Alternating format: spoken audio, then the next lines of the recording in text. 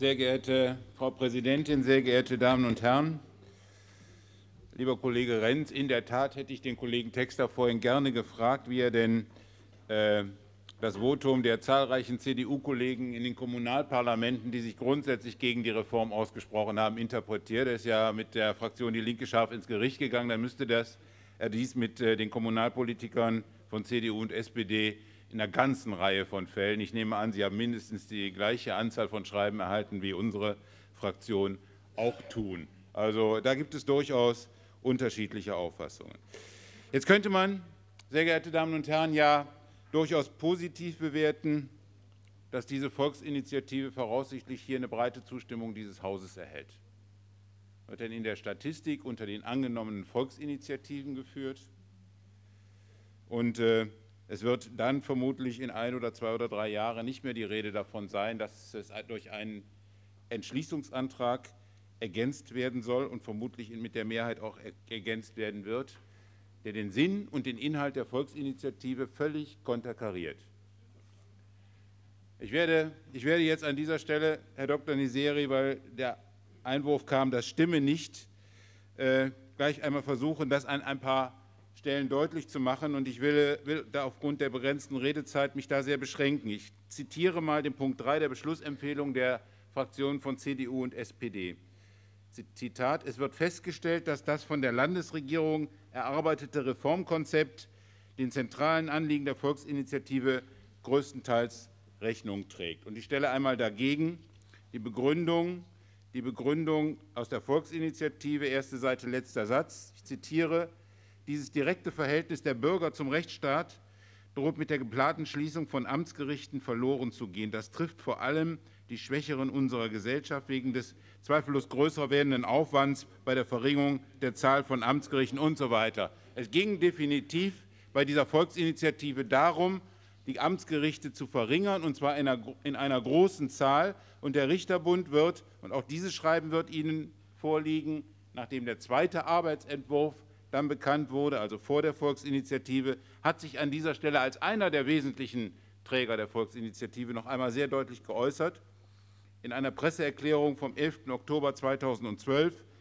bringt er zum Ausdruck, ich zitiere erneut, nur zehn selbstständige Amtsgerichte für unser großes Flächenland sind eindeutig zu wenig. Die Idee, die Lücken mit fünf weiteren Zweigstellen zu schließen, ist weder effektiv noch praxistauglich. Zweigstellen werden, haben sich in keiner bisherigen Reform und in keinem anderen Bundesland bewährt. Die räumliche Verlagerung des Sozialgerichts von Neubrandenburg nach Neustrelitz wird sich ebenfalls als kontraproduktiv erweisen. Dass eine bürgernahe Justiz nach den vorliegenden Plänen nicht mehr gewährleistet wird, wird ganz besonders im Landkreis Mecklenburgische Seenplatte deutlich. Mit der Schließung des Amtsgerichts Termin wird einem großen Landesteil der Zugang zum ortsnahen Gericht verwehrt. Und etwas später heißt es, bedauerlicher, bedauerlich ist, dass die Landesregierung sich trotz aller kritischen Expertenmeinungen nicht mehr Zeit für eine solche Reform nehmen will. Und wenn man jetzt hergehen will und in einem Entschließungsantrag den Inhalt einer Volksinitiative für sich interpretieren will, dann würde ich zumindest erwarten, dass Sie mit den Antragstellern da ins Gespräch hineingehen und nicht den Eindruck erwecken, Sie hätten sich der Volksinitiative angenommen, um sie anschließend mit dem Entschließungsantrag wieder vollkommen, vollkommen umzustoßen. Das in der Tat ist nicht seriös. Dies ist keine seriöse Landespolitik, meine Damen und Herren.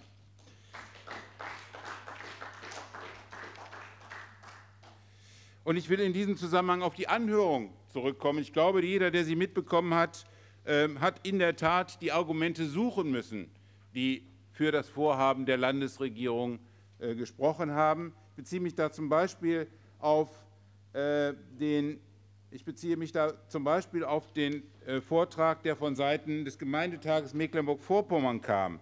Ähm, der Gemeindetag Mecklenburg-Vorpommern hatte sich in seiner schriftlichen Stellungnahme für den Erhalt der Justiz in der Fläche ausgesprochen und zum Ausdruck gebracht, es komme darauf an, die, die künftigen Entscheidungen zur Gerichtsreform an den Bedürfnissen der Rechtssuchenden zu orientieren, an ihren Anfahrtswegen, an, an den noch künftig vorhandenen Strukturen des öffentlichen Nah- und Fernverkehrs. Sehr geehrte Damen und Herren, wir alle wissen, CDU und SPD wissen dieses auch.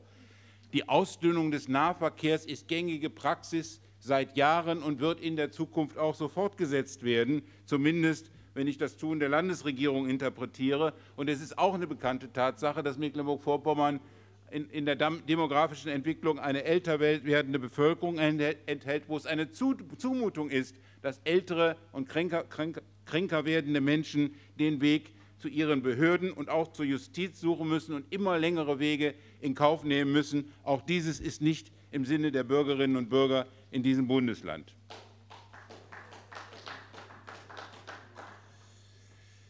Wer wie SPD und CDU auf der einen Seite der Volksinitiative für den Erhalt einer bürgernahen Gerichtsstruktur zustimmt und dann in Kenntnis all dieser Dinge in einer Entschließung feststellt, dass die geplante Gerichtsreform dem Anliegen der Volksinitiative ja Rechnung trägt, der verhält sich nicht nur widersprüchlich, sondern er, er missachtet, und das ist, finde ich, in dem ganzen Komplex aus meiner Sicht der umfassendste Vorwurf, er missachtet bewusst das direktdemokratische Element einer Volksinitiative und den sich darin äußernden Willen von mehr als 35.000 Bürgerinnen und Bürgern, und diese, die diese unterstützt haben. Dass die Volksinitiative im Widerspruch zu der geplanten Gerichtsstrukturreform steht, möchte ich hier an dieser Stelle noch einmal ausdrücklich festhalten. Und wenn Sie sich vorstellen, Sie wären Initiator oder Unterstützer einer derartigen Volksinitiative, und würden dann erleben, wie der Landtag diese über einen Entschließungsantrag uminterpretiert. Ich glaube, Sie würden sich überlegen, ob Sie eine solche Initiative denn noch einmal anstrengen würden. Das, glaube ich, ist kein gutes Beispiel für den Umgang mit einem positiv zu bewertenden Bürgerwillen, der sich dann in dieser äh, Initiative zum Ausdruck gebracht hat. Nun kommt der Vorwurf, der kam ja vorhin auch vor den Vertretern der CDU und der SPD, wo bleiben denn die konstruktiven Vorschläge der Opposition? Ich weiß, es gibt ja inzwischen einen Gesetzesentwurf, der irgendwo grassiert. Wir haben den noch nicht gesehen, beziehungsweise uns liegt davor, aber aus anderen Quellen. Ja. Herr Renz, mich würde extrem wundern, wenn Sie den noch nicht kennen. Ehrlich? Ja, ich stelle Ihnen den gerne mal zur Verfügung. Dann können Sie mal reinschauen. Der greift im Wesentlichen das auf, was im zweiten Arbeitsentwurf drinsteht. Also keine wirklichen Überraschungen. Ähm, aber die, die, Frage, die Frage an dieser Stelle, Herr Renz, war ja, wo ist der konstruktive Beitrag, wo ist der konstruktive Beitrag der Opposition? Und wenn Sie, wenn Sie in der Sitzung gewesen wären, die die Anhörung beinhaltet hat, dann hätten Sie dem Sachverständigen des Deutschen Beamtenbundes aus Brandenburg äh, genüsslich zuhören können, weil da war die Alternative gefasst, und zwar die Frage, muss sowas jetzt übers Knie gebrochen werden oder braucht man etwas anderes als ein Kienbaum-Gutachten von 1994, um eine wissenschaftliche Grundlage zu haben, um eine derartige Reform zu machen? Und ich will an dieser Stelle auch einmal wiedergeben, was dort gesagt worden ist zu den Ergebnissen in Brandenburg. Und das ist ganz genau auch der Vorschlag, den meine Fraktion im Augenblick trägt. Der Landesbund Brandenburg des DBB Beamtenbund Tarifunion berichtete, das Land Brandenburg habe sich nach sechs Jahren intensiver Prüfung für den Erhalt aller Amtsgerichtsstandorte und somit für den Erhalt einer bürgernahen Gerichtsstruktur entschieden.